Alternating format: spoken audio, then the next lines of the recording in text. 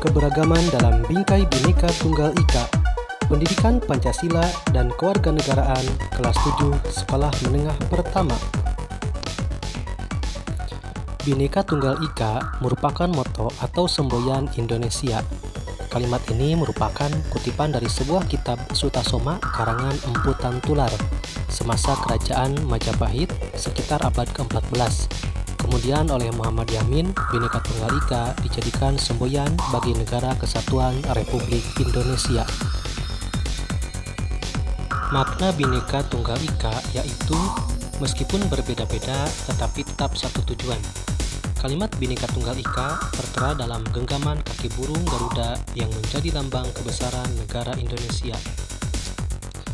Prinsip-prinsip nasionalisme Indonesia 1. Kesatuan sejarah yaitu bangsa Indonesia tumbuh dan berkembang dalam suatu proses sejarah. 2. Kesatuan nasib yaitu berada dalam suatu proses sejarah yang sama dan mengalami nasib yang sama, yaitu dalam penderitaan penjajah dan kebahagiaan bersama. 3.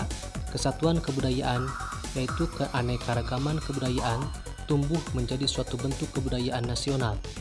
4. Kesatuan asas kerohanian yaitu adanya ide, cita-cita, dan nilai-nilai kerohanian yang secara keseluruhan menyatu dalam Pancasila.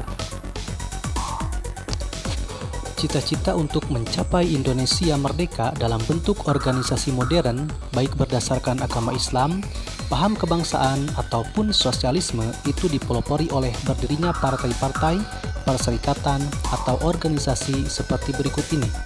1. Serikat Dagang Islam 2. Budi Utomo 3. Serikat Islam 4. Muhammadiyah 5. Industri Partage 6. Perhimpunan Indonesia 7 Partai Nasional Indonesia, dan 8 Partindo.